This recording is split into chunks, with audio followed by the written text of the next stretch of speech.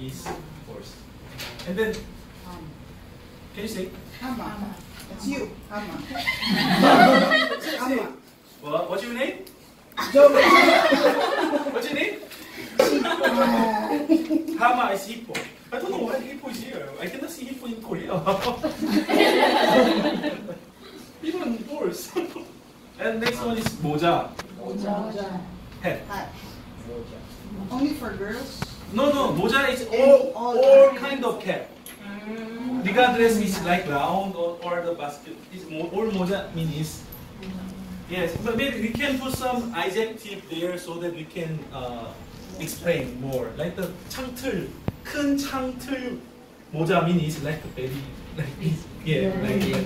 So 모자 it, it's general word. Or